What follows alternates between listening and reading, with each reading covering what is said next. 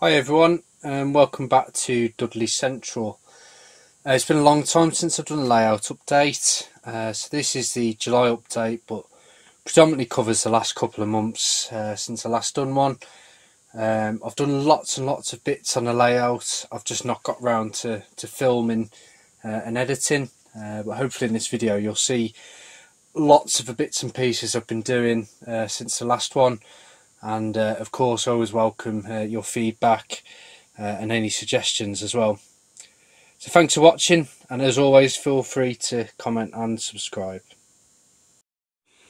So kicking off at the station end, uh, this area hasn't really changed at all uh, to be honest. Um, the buildings are as per they were last time. I have added a low relief uh, office building here um, just sort of testing that out at the minute to see if it's a good fit. If it is, I think I'll probably add two or three of those and make a bit of a high street uh, along the back.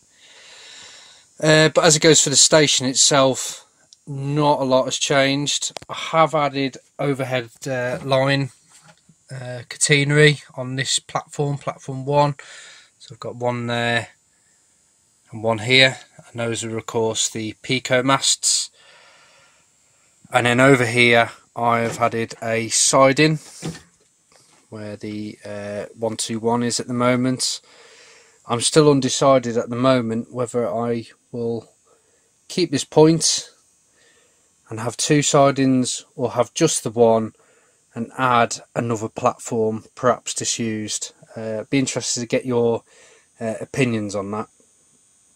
The plan is that I will have a retaining wall of sort to block this off and then a ramp which comes down from street level and meets down here where the car park is for the depot. So the signal and castle end of the layout uh, is pretty much as it was. Uh, there really hasn't been much change and as many of you will know, uh, those of you who have followed the channel, this is the only original board that survived from the uh, previous garage layout. Uh, I really like this. One thing I have added are again the overhead lines uh, to the main lines. So I will have one line here running towards uh, Wolverhampton and the north and then this line here which will run along the fast electrified lines towards Birmingham New Street uh, and the south. These two lines uh, closer to you uh, will remain unelectrified and just for diesel traction. The other thing I've added uh, for the signal box is I've actually added a light and a uh, little fella in there. Uh, it does need detailing but it's a nice addition uh, to get it lit up. For the castle, as you can see there's a, a Dalek garden at the moment um, but what I have, what I will do is build up this terrain here, and I'm considering actually extending the castle uh, with some low relief elements. Uh, it will be from the Metcalfe range to tie in with the tower. Um, that I think actually that could be quite impressive. So I look forward to having a go at that. But as I say, this this this section has not had much done to it, and I'm not planning to do much with it uh, right away at the moment. So this board has probably had the most change uh, since the last video and it is of course formerly the DMU depot but it's now expanded uh, to be a locomotive depot as well. So we'll start with the DMU depot. Uh, what I've added is a Bachmann servicing point there and as you can see I've added hard standing uh, between the units. I've had a look at prototype DMU depots and actually this seems fairly prototypical that it's all ballasted and there's just concrete walkways between uh, so I've tried to mimic that as best as I can. I've also added just under a this 150 here you can see I've added a Peco inspection pit. Uh, it's absolutely pristine at the moment so obviously does need weathering. Um, as does the servicing point and fuel point there as well. So there's a lot of blending in it's all looking very clean at the moment. Um, but in terms of layout, I'm really quite happy. I've also added some floodlights as well, uh, just to give it a bit of contrast. Uh, these are cool white, which seems to be fairly normal uh, for this period of time uh, for floodlights. Uh, but as I say, I'm going to add some lights to the servicing point, which is probably a different colour. And I might also look to add some in the inspection pit as well. The washer uh, is also pretty much in the same place, um, but I have added hard standing just around the bottom of it, just to make it bed itself in a little bit better. Again, I've got another floodlight here, um, but I might look to add some lights to the uh, washer itself. As uh, again, looking at pictures, that seems to be quite the norm uh, for these kind of DME washers. So what I've gone for is an EWS depot.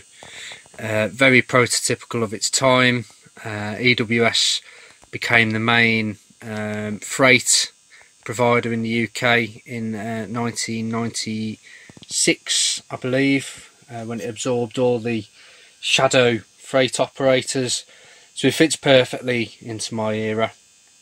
So um, what I've done is I've added the Bachmann modern servicing depot but inside, I've actually gone uh, a little bit further and added the Westhill Wagon Works interior kit. And as you can see, what that does is it elevates the rails uh, above the base. Um, and what I've also gone and done is add lights to the inspection pits as well. So when you come from outside, it gives a really nice visual effect um, under the under the locos there. Um, and it's quite good at sort of highlighting the detail. I've also on the outside of the depot added uh, some floodlights. I've not added one in the middle because um, I didn't feel confident enough to actually hide the wire. Um, I know that sounds a bit daft, but actually I'm quite happy with it, how it looks at the minute. Um, so that, that's probably what I'm going to do. As you can see I've also added all the sort of depot uh, signage as you'd uh, come to expect. If you just come round to this side here, I've also added a siding just to the side of a depot where the uh, Class 58 is at the moment. Um, I think this is just quite a nice little point, uh, just to photograph models really against that wall. Um, yeah. So in front of a depot now, uh, I've essentially copied the DMU depot. I've added a fuel uh, point for the diesel locomotives. Uh, as you can see, I've got the Bachmann fueling points, uh, which we've, we've had around for a good few years now. Uh, and then I've added the Bachmann pump house, but I've also added the Westhill Wagon Works diesel tanks. Uh, I went for these because they were significantly cheaper than Bachmann's offerings. Uh, I just need to paint them up and fit them in. So coming along now, um, this road track runs all the way along because the idea is that this uh, little depot building here serves the EWS part of the depot. Now I should have said that these two facilities in essence now post privatisation two separate things. You've got the freight locomotive depot and the DMU depot. Now for the DMU depot there is actually this mess room here which as you can see still got the regional railways branding which uh, lasted well into the mid 2000s uh, so I've left that there. And the idea is that staff using this office are probably going to be working on the DMUs whereas if you're working in the EWS depot you will come to here. So for the EWS setup I've also added a little site cabin um, and then it's just all the various gubbins that I've picked up so I've got some spare wheels, buckets, pallets, uh, ploughs, um, whole manner of stuff. I will look to add a few more, perhaps some power units as well. Um, but I've really enjoyed putting this together. Um, I've had a lot of fun making the depot. Um, it's one thing I was always a bit hesitant about doing um, but I'm, I'm really glad I have. It's obviously very clean at the moment, and my next attention on it will be to to um, make it nice and dirty uh, and grubby it up. The last thing really of note is I'm thinking of having some on track plants sort of stationed here. Um, I've got some I've got an RRV there, and and then I've just got the Stobart excavator as well. Now just to the back of the scene now, uh, you can see I've got a train on one of the main lines uh, heading north. Now behind it is a siding. Now the plan is that that siding is only to be used by electric traction. So that'll be electrified and it will be really for where class 90s and class 92s park up. Um, it will be sort of multi-use. It will be for the uh, EWS uh, guys over here but also uh, for passenger uh, electric locomotives which have come from the station and swapped uh, for diesel uh, locomotives. So it can run in there and it can actually access uh, either of the electrified lines from that siding. So again I just wanted something to park it up um, and again just for a bit of operational interest. Now as we look towards the junction um, it's actually quite complex really. The amount of different routes uh, trains can take um, but as you can see this what we're looking at here is the branch line uh, or secondary route which diesel trains take uh, towards the station and then over to right is the electrified uh, main lines and they converge there uh, and head towards the station now I've gone, gone away now. I've wired it all up and I've now added this valley uh, going down towards here. What I've done at the back is I've used a Metcalfe uh, low relief warehouse uh, which I think fits the scene well. Um, I'll also look to add a few more low relief items along that back scene just to give it a bit more depth um, but I really love uh, photographing this uh, scene uh, or indeed videoing as well. The other thing I've added to here are some train tech sensor signals. Uh, as you can see, um, they're automatic and they run through the different aspects. Uh, really, really cool. Really impressed with those. I've wired them to my um, bus wire uh, underneath. I've took the connectors off them um, I've got three of them at the minute. I've got a three aspect one here with a feather left and that's if trains want to switch from the electrified lines to the diesel. I've got a four aspect one here um, which is mainly due to it going off into the distance um, so that that's kind of normal to have a distant four aspect and then over here I've got another signal uh, which is a three aspect feather right. Now at the moment I've not detailed this one up or painted it. Um, I do find that they can be significantly improved if you paint them grey uh, on the back and around add a concrete base to it as well uh, and paint the fronts black uh, because I do think they come out quite toy-like uh, out of the package but once you detail them up they do look fantastic uh, and they work really really well. So now coming over to this end um, I've now as you can see bedded the viaduct in. Again that's one of the original parts of the old layout. I couldn't bring myself to throw that away. Um, compared to the Metcalfe viaduct to get out the box I've actually shortened well reduced the height of it so you can see it's lower down um, that was so that it looked a bit more uh, bedded in in this environment. I've also added a, a, tunnel portal as well and that is the Hornby magazine uh, laser cut portal.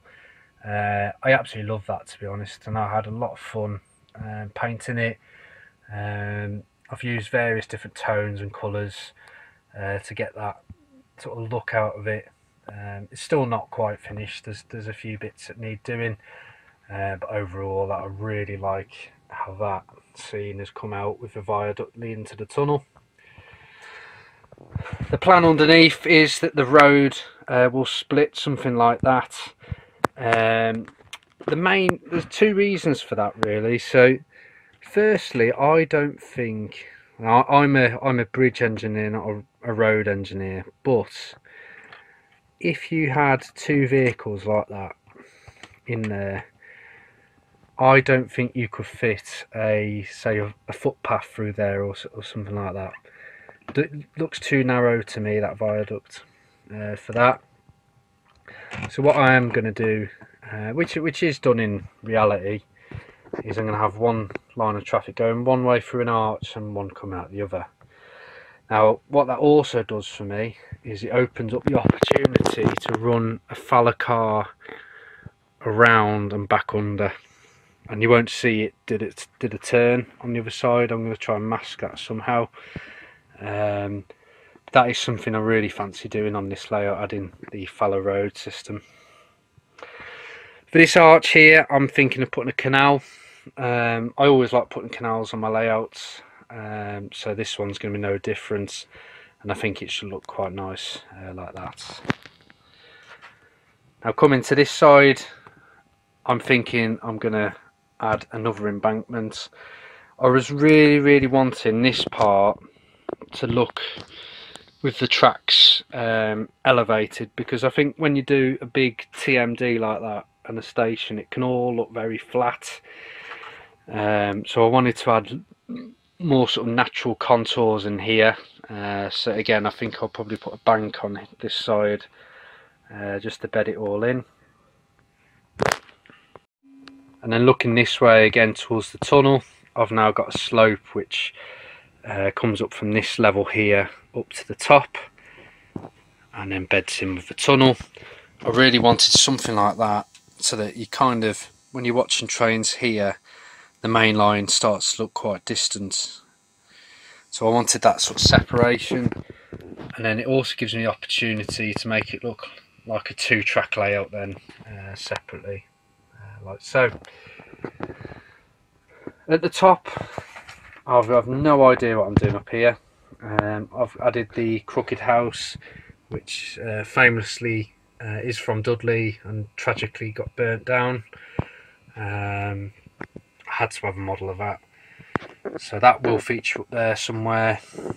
Uh, as I said, the Faller car system is something that's also high on the list and then it gets a bit messy over this side uh, but ultimately I'm thinking of having the bus garage up here somewhere.